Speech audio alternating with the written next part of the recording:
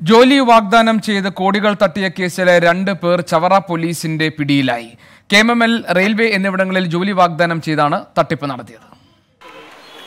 തിരുവനന്തപുരം മലയൻകീഴ് സ്വദേശിയും ഇപ്പോൾ തൃശൂർ അയ്യന്തോൾ ശ്രേയസിൽ താമസിക്കുന്ന ഗീതാറാണി എന്ന ഗീതാ രാജഗോപാൽ ചവറ പയ്യാലക്കാവ് മാണുവേലിൽ പൊതുപ്രവർത്തകനായ കോട്ടയ്ക്കകം സദാനന്ദൻ എന്നിവരാണ് പിടിയിലായത്.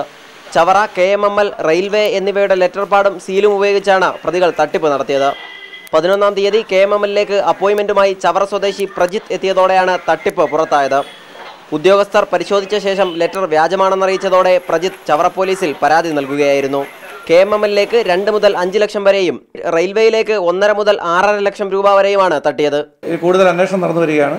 കൂടുതൽ പേര് ഇതിൽ ഉൾപ്പെട്ടിട്ടുണ്ട് എന്നാണ് നമ്മുടെ പ്രാഥമികമായ അന്വേഷണത്തിന് വെളിവാകുന്നത് കോടികളുടെ തട്ടിപ്പാണ് ഇതുമായിട്ട് ബന്ധപ്പെട്ട് നടത്തിയിരിക്കുന്നത്.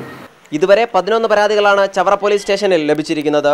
കൊല്ലം പത്തനംതിട്ട തിരുവനന്തപുരം ആലപ്പുഴ എറണാകുളം തൃശൂർ കോഴിക്കോട് പാലക്കാട് എന്നിവിടങ്ങളിൽ നിന്നുള്ളവരാണ് കബളിപ്പിക്കപ്പെട്ടത്. ഗീതാറാണി മുൻപും നിരവധി തട്ടിപ്പ് കേസുകളിൽ പ്രതിയാണ്. ട്വന്റി കൊല്ലം.